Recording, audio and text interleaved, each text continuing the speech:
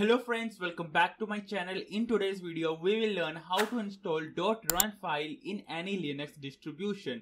It is going to be a short and informative video, so please watch till end. And if you like the video, please do not forget to like and subscribe to my YouTube channel and press the notification bell. So without wasting the time, let's jump right into the video. Alright guys, as you can see inside my downloads directory, I am having a XAMPP, okay, this is uh, used for a PHP server, but it is an actually installer which is having an extension of dot .run. So how can we actually install it in Linux? So there are two methods. The first method is a graphical method and the second method is a terminal method to install .run file in Linux distribution.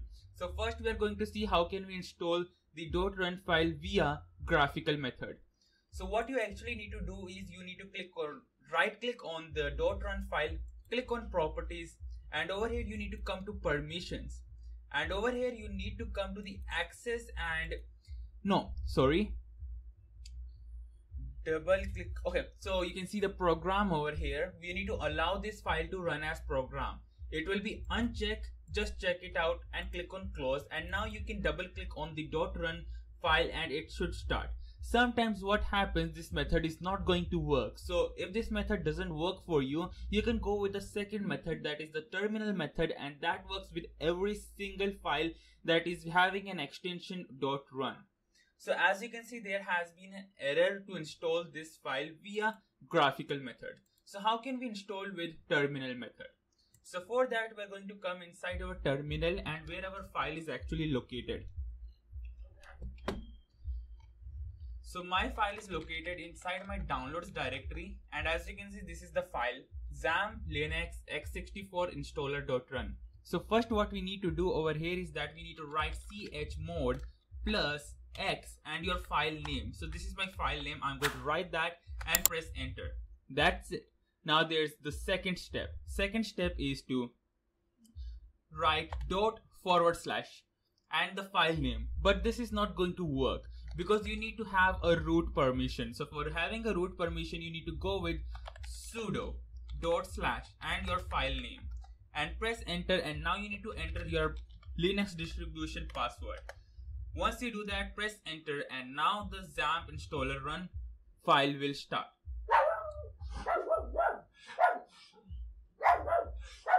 Here is Zoe. Come, Zoe. come, come, come, come, come. Come, come, come. Here she is. Her name is Zoe. Zoe, say hi. Hi. Alright, guys. So now Zoe is also going to program with me. Alright, so now as you can see, the dot .run file has started. Now what you need to do is you need to click on forward, forward, click on forward and click on forward. That's it, the installation will start. So this is how you can install any kind of dot .run file via terminal or via graphical method. If the graphical method is not working for you, you can go with the terminal method and that works for every kind of run files. As you can see, it's finished installing. So let's wait.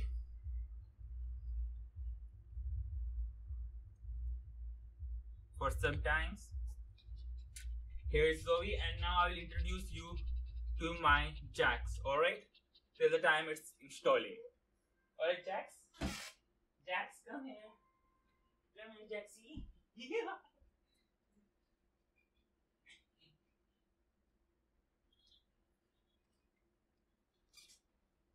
Here you go. Here is Jax. Jax, say hi to the viewers. Hello. Yes. Uh, oh my god. Alright, so this was Zoe and Jax. Okay, so this is how it's going to be installing. It's gonna take some time depending on your distribution. So I have installed it in actual a virtual machine, so it is bit slow. So that's why it is taking time. So I think so the installation is complete. Let me check this thing out.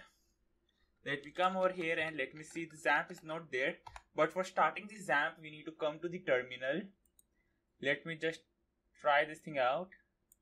Let me open a new terminal window. And for starting sudo slash opt slash lampp start. Let me enter the password.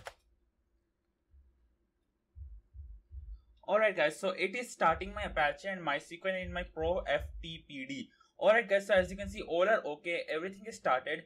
So that means my XAMPP server is successfully installed so this is how to install .run file in your Linux distribution. Alright guys, that's it for this video. If you like the video, please do not forget to subscribe to my YouTube channel and press the notification bell for more amazing video like this. Till then, peace.